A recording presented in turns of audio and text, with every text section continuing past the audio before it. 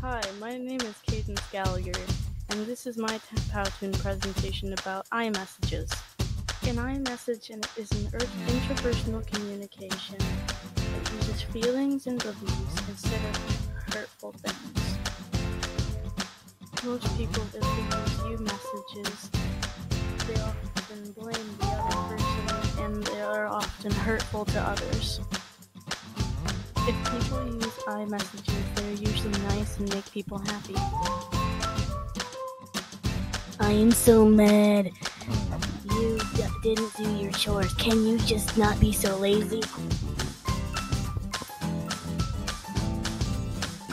Don't yell at me when you're just as lazy. A way to create I messages is I feel blank when blank and add I want blank.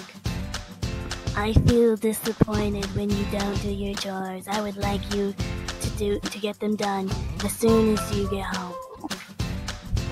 I'm sorry, I'll get it done. If you had to, I would always decide to use I messages because they are not hurtful. Never use a you message because they are hurtful. Therefore, choose to use emotions when you talk instead.